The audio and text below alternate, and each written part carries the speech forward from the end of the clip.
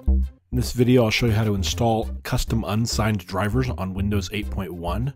First, press Windows key C to bring up Charms, go to Settings, and change PC settings.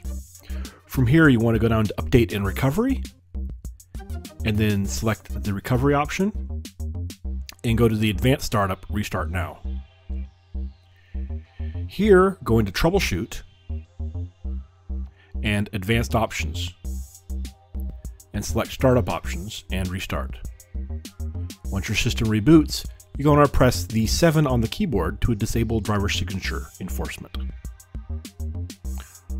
Once everything boots up,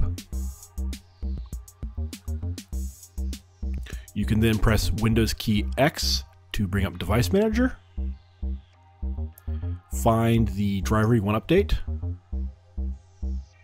and then browse to the driver on your computer. And this will give you the warning, but will let you install the driver anyway. For more information, visit my blog, delphi.org, and look for the custom Android ADB USB article.